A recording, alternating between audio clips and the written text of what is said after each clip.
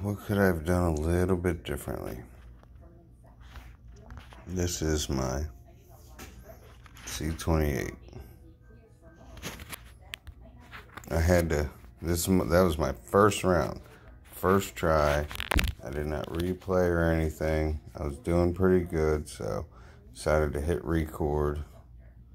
And I just caught up to the C30s.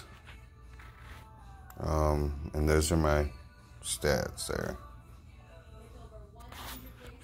Thanks for watching, guys, and uh, hope to see some good scores.